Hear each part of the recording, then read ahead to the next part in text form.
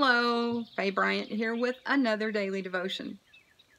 Today we're going to look at 1 Peter 4 8 that says, Most important of all, continue to show deep love for each other, for love covers a multitude of sins. Let's talk. Peter, the apostle who had denied Christ three times, then received the three-layered forgiveness and calling, the guy who walked on water with Jesus for a few, the fellow who preached a message and had over 3,000 respond to the call to salvation, wrote to believers homeless because of escalating Roman persecution. He wrote these words to, to them. He told them that above all, above all, they must show intense, fervent, unfailing love for one another. The Spirit of God showed him that the community of believers loving one another was of utmost importance. With torturous death looming over them, knowing the love and kindness of fellow believers was paramount. Think about that. I think God spoke this timeless truth through Peter. Timeless because it, it's relevant now. We need that love and kindness of fellow believers today just as much as those to whom Peter wrote. That last part, love covers a multitude of sins, sounds like it's saying love hides a bunch of sins, doesn't it? That's not it at all part of loving another person is forgiving their offenses and letting them go. It's refusing to be selfish in the light of those wrongs and choosing to desire the best for that other person. Love. Peter was not saying that love lays a blanket over tons of sins and pretends they're not there.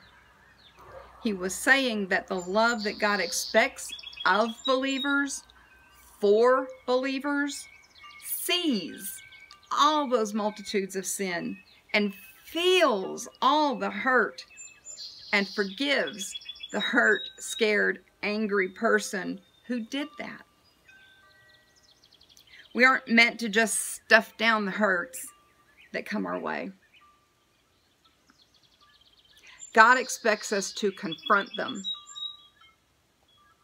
to confront the wrong among other believers and deal with it. That's the most loving thing we can do. Deal with it through forgiveness. Hmm. It's not easy. Love isn't.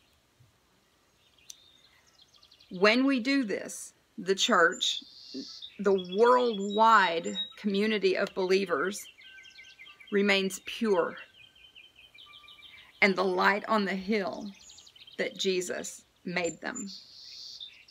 Believers, we have some work to do. We do. We are not collectively loving other believers as we should, as God described us to do. It's time to make some changes. There will always be followers of Jesus who think and act and talk differently than you. Always will be. Some may have tattoos. Some might have piercings. Some will speak in tongues while others don't. We who say we follow Christ must love every single one of them simply because they are family. These who are children of God are our spiritual siblings, period. That's it. Let's get to loving them all the way that we should. Coffee, Bible, journal. Hope you enjoy these daily devotions, and if you want to make sure that you don't miss one, that you'll see them when I post them, subscribe right there. And if you would like to see some of the other videos I've done, hit right over here. Enjoy your day. Seek Christ in everything that you do. Live the way that He's taught us, loving one another. Bye for now.